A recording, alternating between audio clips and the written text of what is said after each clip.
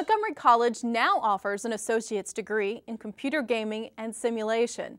Students can choose from tracks in game programming, production, or graphic design. The new degree evolved out of student interest and industry demand. To demonstrate what today's computer gaming students learn and to generate excitement, the Rockville campus held its first game day. Students in the Computer Publishing and Printing Management program showed off their skills in flash animation at a demo at the Gudelsky Institute for Technical Education.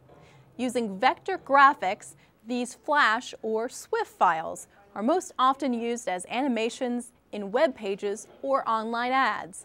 But these students developed interactive games in history, language, and also for entertainment. But the real highlight of the game day's activities was the final project from students in CA 190. That's the Introduction to Game and Simulation Development class. For more on that story, here's Tom Denny. For anyone who grew up in the 1980s, feeding quarters into video games was a way of life.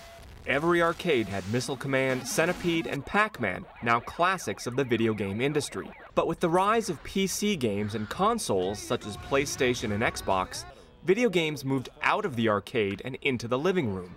And for students in Montgomery College's Game and Simulation program, video games are anything but child's play. Gaming has really taken off as an industry. It's um, a you know, multi-billion dollar industry that's on par with Hollywood box office. Um, not only is it generating enormous amounts of revenue, um, but it's also a new option, a new career option for students that are interested in technical and creative work. To explore that new career option, students in Solomon's CA 190 class recently staged a live action Pac Man game across the Rockville campus. This is actually our final project. So, uh, for final, we actually brought a live game to the campus. And I guess it was pretty fun. It's kind of like embarrassing, but it was okay. It's actually, yeah, I had fun. You would think, oh, Pac-Man, everybody knows that game. It's, you know, how hard can it be to put on a Pac-Man costume and run around the campus? Um, but you really have to translate the design, the game design rules into something that will work in a physical space. CA 190 was project leader Angel Enokin's first and only class at Montgomery College, and the Harvard grad now heads to Stanford University for her master's degree.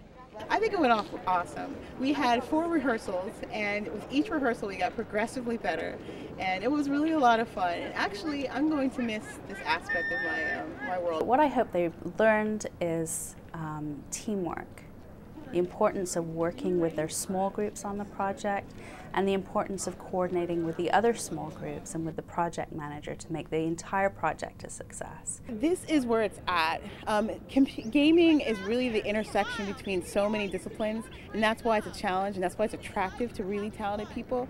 Um, you got art, you've got programming, you've got both the science as well as the right and left brain part of our of, of learning. From Montgomery College today, I'm Tom Denny. To learn more about the college's computer gaming and simulation degree and its classes, log on to studygaming.com or log on to montgomerycollege.edu slash mctoday to learn more about all of the stories we feature on our show.